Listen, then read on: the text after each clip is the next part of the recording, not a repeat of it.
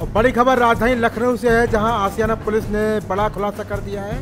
बुज़ुर्ग बीरेन नरूला के अपहरण और हत्याकांड का आसियाना पुलिस ने बड़ा खुलासा किया है। आसियाना थाना पुलिस ने आज बीरेन नरूला हत्याकांड का खुलासा करते हुए दो आरोपियों को गिरफ़्तार कर जेल भेज दिया है। आपको बता दें कि बीते 13 अगस्त को बीरेन नरूला के पुत्र सिद्धार्थ नरूला ने दी थी। आसियाना थाने में तहरीर, बड़ी खबर राजधानी लखनऊ से है। सिद्धार्थ नरूला ने अपने किराएदार सुखविंदर सिंह बिटकी और अजीत सिंह उर्फ़ टीटू पर लगाया था अपने पिता के अपहरण और हत्या का आरोप। आसियाना थाना क्षेत्र निवासी 70 वर्षीय बीरेन नरूला मकान का किराया ले जाने के बाद नहीं लौटे थे घर। सीसीटीवी फुटेज के आधार पर पुलिस ने कसा दोनों किराएदार भाइयों पर शिकंजा तो हुआ मामले का बड़ा खुलासा। दोनों किराएदार भाइयों ने कर दी थी मकान मालिक बीरेन नरूला की निर्मम हत्या।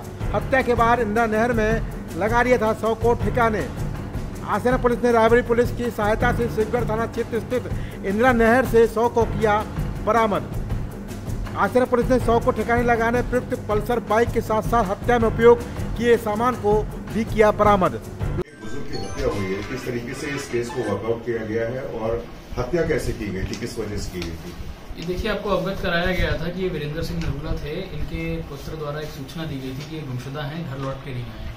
इस पर बारह तारीख को हमारे यहाँ थाना आशियाना में गुमशुदगी दर्ज करी गई थी और इनकी गुमशुदगी की दर्ज पे हम लोग जब जाँच पड़ताल शुरू करे थे तो हमें प्रकरण थोड़ा संदिग्ध लगा था। उस पर हमने जो भी उससे फैक्ट्स निकल के आए थे, जब इनके पुत्र को अवगत कराए थे तो इनके पुत्र सिद्धार्थ नरूला द्वारा एक लिखित तहरीर थाना आशियाना में दी गई थी, जिसमें इन्होंने अपने घर पे जो लड़के किराएदार थे इनके, सुखविंदर और टीटू, उस पर नामजद तहरीर दी थी कि इन्होंने अपने, इनके पिता की हत्या कर दी है। इस पर पुलिस ने जाँच पड़ताल शुरू करी, जो मौके पर हमें कई फुटेजेस मिले, उनका हमने फॉलोअप किया और इस क्रम में आज हमने इन दोनों की गिरफ्तारी करी है।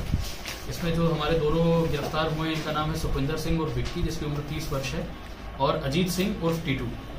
इनसे जब हमने विस्तृत पूछताछ करी तो इनके द्वारा बताया गया कि ये जो नरूला जी का मकान था, उसमें चौदह साल से किराएदार थे, और इनकी नीयत में दोष आ गया था, ये उस घर पर कब्जा करना चाह रहे थे। जब नरूला जी ने इसका विरोध किया था और अपने घर को बेचने का प्रयास किया था तो उससे ये लोग नाराज़ हो गए थे इनसे।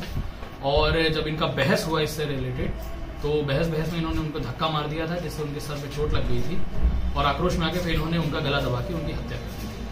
हत्या करने के बाद इन्होंने बॉडी को एक रेनकोट में लपेट के सर पे दस्तार बाँध दी ताकि किसी को शक ना हो और अपनी मोटरसाइकिल में बैठा के ले गए और इंदिरा नहर में जाके बॉडी को डंप कर दिया था। इस पर पुलिस द्वारा एक विस्तृत सर्च ऑपरेशन भी चलाया गया था, जिसमें हमने एसडीआरएफ और सर्ट पीएसी को भी इन्वॉल्व किया था। लोकल थाने की पुलिस लोकल गोताखोर भी हुए थे।